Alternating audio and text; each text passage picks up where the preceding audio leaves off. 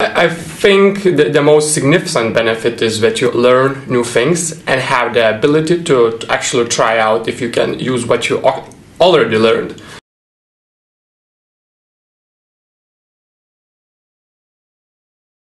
Når man har studerende inde, som er inde og har, har nogle måneder, hvor de skal ud og prøve nogle ting af, så er de tit meget motiveret for, for at give den en skala, og det, det smitter positivt af på miljøet. Øhm, så det, det synes jeg helt klart er, en, er et stort plus, at øh, man får folk ind, som har lidt, øh, lidt energi.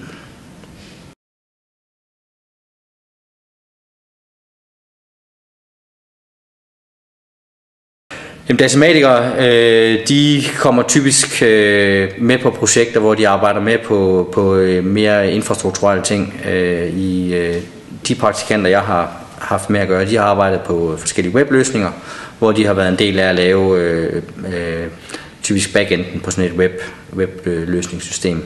The internship was uh, Google Web Toolkit, web pages instead, and after that, uh, there was a main project. And for the main project, again, it was a totally new programming language for me. No, Not the programming language, but the environment.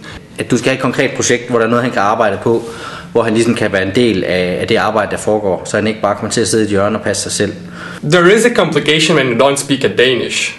It is okay with your colleagues because colleagues know that you don't speak Danish, so we try to speak English if it's something important that you should know and you should listen to. But for example, during the lunch, uh, I wasn't able to actually participate in the conversations.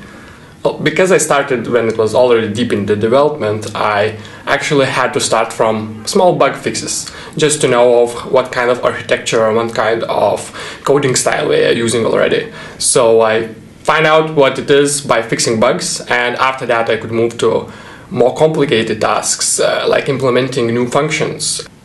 De praktikanter, vi har haft, de har, øh, har bidraget meget til de projekter, de har været med til i forhold til, hvad vi har forventet. Øhm, og vi vil helt klart også selv blive ved med at, at tage praktikanter ind, når vi har projekter, der passer til det og har tid til det i, i, i programmet.